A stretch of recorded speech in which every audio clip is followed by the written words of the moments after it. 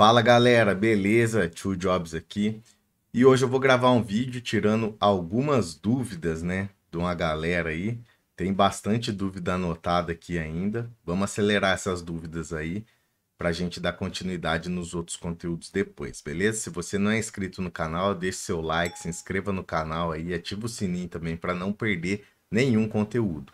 Faça também parte da nossa comunidade lá no Discord, que é muito bacana também você se interagir com a comunidade PHP barra Laravel aí, beleza? Bom, sem mais delongas então, vou compartilhar minha tela aqui no modo aula. Tinha uma dúvida aqui do Gustavo, que ele tinha falado, tio, faz um vídeo ensinando a configurar o ambiente de desenvolvimento com WSL para PHP e Laravel, por favor. Eu já tinha feito isso, tá? Então tem algumas coisas que estão aqui que eu já tinha passado por feito, por isso que a numeração tá pulando. São coisas que eu já fiz. Inclusive, essa eu vou passar para lá, tá? Que é referente a esse vídeo aqui, ó. Como configurar WSL2, Docker e um terminal muito bacana que eu fiz numa live aí, uma galera tava comigo, tá bom? Então esse conteúdo já tá pronto e eu vou deixar na descrição descrição do vídeo aqui também. Então deixa eu mandar esse cara aqui para os feitos.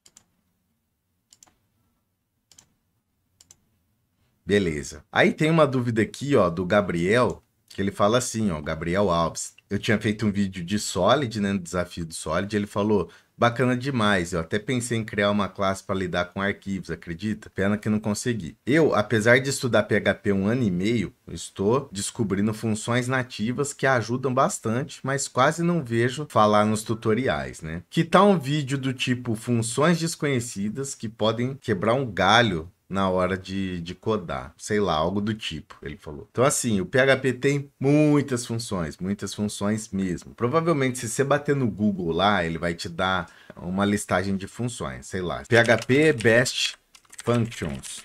Um exemplo aqui, ó. Ah, aí tem um rank aqui, ó, top funções, né, do PHP para 2022. Se você clicar aqui, ó, aí qualquer coisa eu deixo esse link na descrição também. Ah lá, ó, ele vai mostrando todas as funções e a frequência que a galera usa, entendeu? Então, aqui tem, tipo, 100 funções do PHP que são extremamente úteis tá? Beleza? Tem aqui também top 100 insights, tá? É bem legal, tá? Isso aqui. Então, tipo, ah, eu quero saber o que que sei lá, Word faz. Você vai clicar aqui, ele vai te mandar lá para a documentação do PHP, é, descrevendo tudo certinho que essa função faz, tá bom? Então, é uma dica aí para você não esperar eu gravar um conteúdo com várias funções, você já pode vir aqui.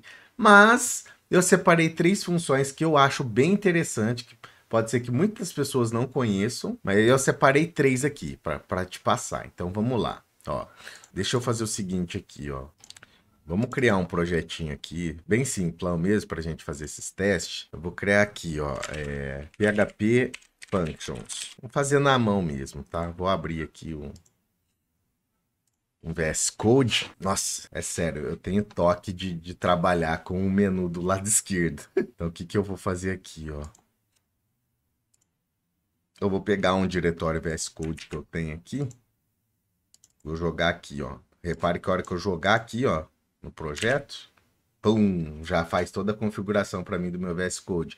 Ô louco tio, como é que faz isso? Tem um repo meu aqui que eu já ensinei várias vezes, mas eu sempre vou reforçar, que é o github.com barra icarojobs barra Code Useful Extensions. Aqui tem todas as extensões que eu costumo utilizar, todas, tá? Tá faltando uma, pelo que eu tô vendo aqui, que eu vou adicionar aqui depois.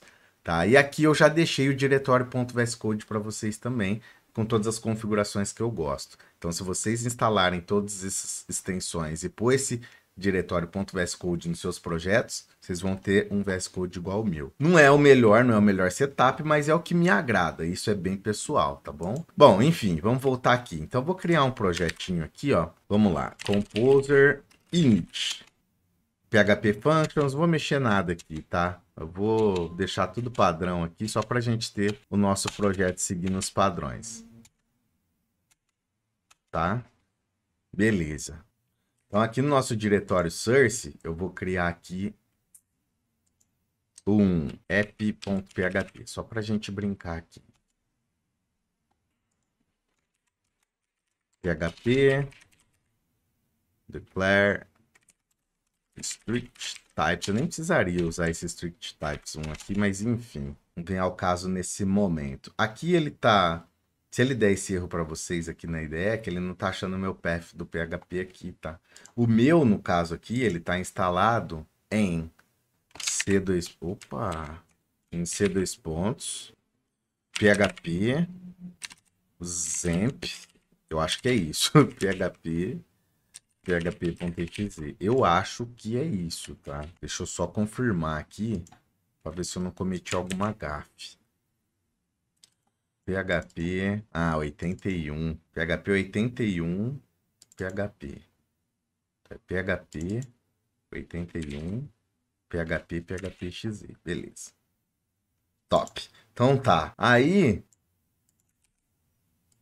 vamos lá no nosso app e vamos testar nossas funções aqui, ó. Eu vou jogar de lado aqui pra gente, pra gente ver aqui a parada, tá? Vou minimizar isso aqui. Vou jogar um pouquinho pro lado aqui, ó. Fica shows. Então a primeira função que eu separei aqui, ó, essa parse URL. Pode ser que você não conheça, tá? Mas essa parse URL aqui serve para manipular o URL. Então, por exemplo, aí aqui tem a documentação explicando tudo certinho, tá? Mas, por exemplo, ele deu uma URL aqui, bem da hora, eu gostei disso aqui, ó. Vou pegar ela aqui e jogar aqui, tá? Só pra gente ver se tá funcionando. Vou colocar aqui, ó, username, vamos supor, que aqui se fosse é, Few Jobs e a senha, sei lá, um, um, dois, três, um, dois, três. Aí tem o hostname, vamos lá, sei lá, arroba, sei lá, techlib.com.br, porta 9090 sei lá. E aí tem um caminho aqui, ó. E-books. Tá ficando grande isso, né? Aí, sei lá, ID igual a 3. Eu quero um ID aqui, 3. E na seção highlights. Sei lá, isso aqui é uma URL bem complexa. Ele deu um exemplo para poder manipular essa URL. Mas vamos supor, você tem uma URL aqui, você tem um usuário, você tem uma senha. Ou seja, daria para acessar isso aqui é, é um exemplo de URL acessando, sei lá, um FTP, alguma coisa assim, tá? Aí aqui a gente tem o domínio, arroba o domínio, dois pontos a porta, barra. Aí aqui a gente tem o path, né? Tipo, sei lá, google.com barra busca, um exemplo, né? Aí aqui é o, é o path, né? Tem os parâmetros aqui e âncora. Como você pode manipular para pegar cada bloco desse? Aí aqui ele ensina certinho. Então vamos ver primeiro esse vardamp só de usar a função é, parse URL, pegando essa URL aqui, ó. Aqui ele já vai retornar tudo, né? Tudo, tudo, tudo, tá bom? Então, eu vou fazer o seguinte. Eu vou dar... Deixa eu dar um eco. Eu não sei se ele consegue formatar aqui para não ficar tão feio. Não sei se formataria isso aqui. Vamos ver. É porque eu tô no terminal. Acho que não vai formatar. Mas enfim, eu posso executar isso num browser também, qualquer coisa, se não, for, se não ficar muito legal. Vamos ver. É, vou dar aqui um PHP, aí é, src, onde está o nosso código, né? app.php. Vou executar esse cara. Aí, ó, é, esse pré não está resolvendo nada, mas vai dar para entender aqui. Deixa eu limpar aqui de novo e executar. Aí aqui, ó, o que, que ele trouxe? Ele trouxe tudo, tá? Então ele trouxe aqui, ó, é, o esquema, tá bom? HTTP, ele pegou o host, ó, certinho, ó. Ele pegou o port, tá? O 9090, ele pegou o user, que é o two jobs, olha só, ele pegou a senha, que é o pass, tá vendo? Ele pegou o path, que é o barra ebooks aqui, tá? O query, que é o query string, aqui é o ID igual a 3, se tivesse mais coisa ele pegaria também. Ele pegou o fragment, que é a âncora, né? Que é, no caso, highlights. Tá, legal. Descobri como que ele pega tudo usando parse URL. Só que eu quero pegar partes disso. Vamos supor, ah, eu quero pegar, por exemplo, só o scheme, se é HTTP, se é HTTPS. Quero pegar só o host, por exemplo, que é essa parte aqui. Então, aqui ele explica também como que pega certinho, que no segundo parâmetro você pode passar algumas constantes. Por exemplo, se eu quiser pegar só o scheme, então eu vou passar aqui, ó, que é o HTTP ou HTTPS no caso, né? Então, eu vou dar um vírgula aqui e vou passar PHP, underline URL, underline scheme, tá? Agora, como isso aqui provavelmente vai me retornar uma string, deixa eu ver o que, ele vai retornar. É, ele sempre vai retornar uma string, a não, com exceção da porta, né? Então eu já posso é, usar diretamente aqui, ó. Eco. Posso dar um eco aqui já direto. Então, ah, quero saber se o host é HTTP HTTPS. Você faz um parse URL, passa o URL e passa essa constante, tá? Então, vou dar um, um clear aqui, ó, e executar de novo. Ah lá, ele pegou HTTP. Se aqui fosse HTTPS, ele pegaria HTTPS, beleza? Então, é uma função muito útil para manipular o URL. Ah, eu quero pegar o usuário né, o nome do usuário, beleza. Então aqui você vai passar php underline url underline user, né? Tudo maiúsculo aqui que é uma constante. E aí ele já vai pegar para você o usuário. URL pass, ele vai pegar a senha aqui, ó, tá? E aí é só usando essas constantes aí, ó. Beleza? Tranquilo. As constantes são todas aqui, ele pega certinho. Pode confiar, pode testar aí. Essa é uma função que eu acho muito interessante, tá? Poucas pessoas devem conhecer isso, entendeu? E principalmente poucas pessoas devem saber manipular isso aqui, entendeu? Que provavelmente o pessoal devia manipular isso aqui como, ó, sei lá. Ó. Aqui ele não, deixa eu dar um var dump de novo, ó. Aqui ele não retorna um array com várias coisas. Opa, eu fiz caca aqui. Faltou um L aqui, né? Ó, aqui ele não retorna um array, ó, array, com várias coisas. Então, provavelmente a galera manipulava isso aqui, ó. Eu quero scheme. Então, abre a chave aqui e passa scheme. Aí, isso aqui já poderia virar um eco. Entendeu? Vamos ver se isso é verdade. Ah lá, ó. Aí, assim, sei lá, não sei se fica muito legal entendeu? Não sei se fica muito legal. Mas o jeito correto, né, de manipular aqui, até recomendado pela documentação, é você dar um vírgula aqui e usar a constante própria. Ah, eu quero saber qual que é o a query string que veio na URL. Então, beleza, php url query. Beleza. Ele já vai trazer a query string para você, id 3 tá? Top, top, top, top. Segunda função que a gente vai ver aqui, ó, initget. Isso é muito interessante. Para quem não sabe, no PHP existe um cara que chama php.ini. Aqui fica todas as configurações da linguagem PHP, tá? Então, ah, eu quero mudar uma parada aqui na linguagem, carregar um, uma extensão diferente e tal, mano, PHP ini, tá? E o que acontece muitas vezes é que a gente não sabe se tal configuração foi setada. Então o iniget, ele ajuda a gente a trazer se algo está setado ou não, entendeu? Então, por exemplo, aqui ele deu alguns exemplos aqui, ó. Por exemplo, ó, o que usa bastante aqui, ó, esse post max file size para saber quanto que a gente está podendo upar de upload. Então, o que, que a gente pode fazer aqui, ó?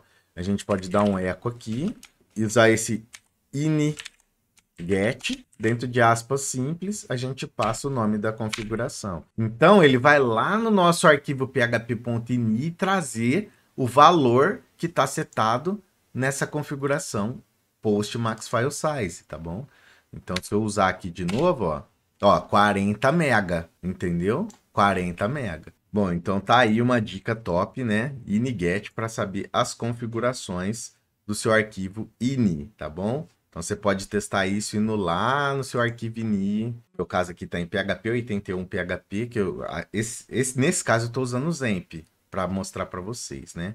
E aí aqui a gente vai ter um php.ini. Então se você abrir esse arquivo aqui, ele vai ter aqui, ó, todas as configurações da sua linguagem de programação PHP. Então você pode pegar qualquer coisa que está setada aqui, ó. Por exemplo, ah, essa aqui é interessante também, ó. Tipo, quantos upload eu posso upar num único request? Tá? Então, você pode verificar isso também. Tá 20 aqui, vamos ver se tá 20 lá. Então, você pode verificar as configurações do seu PHP, né? Ah lá, ó, 20. Tem várias configurações, qualquer uma você pode ver aqui, né? É muito legal. Ah, essa parte de extensão é outra coisa. É duas coisas extremamente úteis, tá? Então, a primeira, iniget, nome da configuração para saber o valor dela. Top. Aí você vai saber por que que não tá upando seus arquivos, tá? Pode ser que, ó, eu voltei aqui, post max size, né? Pode ser que no, na sua configuração aqui esteja, sei lá, 2 mega, tá? e você esteja upando um arquivo de 5 MB. Então você descobre isso fácil sem abrir o PHP ini, entendeu? Top. E o último aqui é o seguinte, a última função aqui é esse aqui, ó, que é o extension loaded, que ele verifica se uma extensão foi carregada. É muito útil isso também, é muito útil, porque tem muitas vezes que a gente não sabe se uma função, um módulo, na verdade, PHP lá, uma extensão no caso, né, foi carregado. Isso aqui ajuda demais, tá bom? Demais, demais, demais. Então aqui tem alguns exemplos de extensões, né? Vamos supor, eu sei que no Laravel usa bastante esse MB string aqui. Então a gente poderia fazer aqui, ó, de boa. É, if é, extension loaded. Aí abre em aspas simples aqui, ó, MB string. Então a gente pode fazer aqui, ó, echo carregou. Sei lá. Então, provavelmente no Zemp eu tenho isso aqui, tá? Então vamos ver aqui, ó, se ele vai dar carregou. Ó, carregou, tá vendo? Por exemplo, vamos ver uma outra que pode ser que eu não tenha. Não vou saber falar. XML eu acho que eu vou ter aqui. É, sockets. Será que sockets eu tenho carregado aqui? Vamos ver. Ó, não carregou. Então você poderia fazer assim, ó. Eu não gosto de usar else, né? Mas tudo bem. else. Nesse caso aqui é só para fim de exemplo, tá? Não carregou. Carinha triste. Então, essa extensão sockets, ó, não carregou, não tenho carregado. Mas, por exemplo, o MySQL aqui, ó, vamos ver.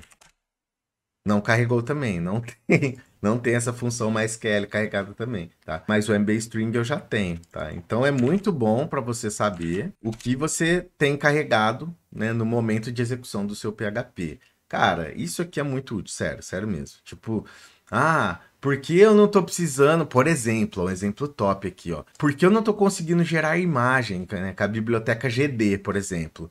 Pô, carregou o GD, vou dar o GD aqui, ó. Isso é muito útil, cara. Aí, ó, não carregou, ou seja, eu não tenho a biblioteca GD instalada. Então eu não vou conseguir trabalhar com, com geração e manipulação de imagens com PHP, entendeu? É muito útil isso, muito útil mesmo. Tá bom? Bom, e é isso. Beleza? Bom, espero que vocês tenham gostado do vídeo aí, né? Da, das dúvidas. Espero que tenha sanado algumas dúvidas aí, algumas dicas aí, tá bom? Se vocês gostaram do vídeo, deixa o like, deixa um comentário, se inscreva no canal aí, ativa o sininho, compartilha com a galera também o meu canal, tá bom? Tem muita dica top, estamos chegando aí a 140 vídeos na data de hoje, 2 de agosto de 2022, e eu pretendo criar muitos vídeos ainda. E ó, spoiler rápido, hein? Sexta-feira agora já começa as aulas de PHP orientado a objetos lá na playlist Codeografia, tá bom? Já tem várias aulas gravadas e aí já vai começar a sair nas sextas-feiras, beleza? Sexta-feira, 7 horas da noite. Anota aí que você tem compromisso as próximas sextas-feiras, que o objetivo é fazer você dominar o conceito de orientação a objetos na linguagem de programação PHP, beleza? Bom, fico por aqui então. Forte abraço e bora estudar!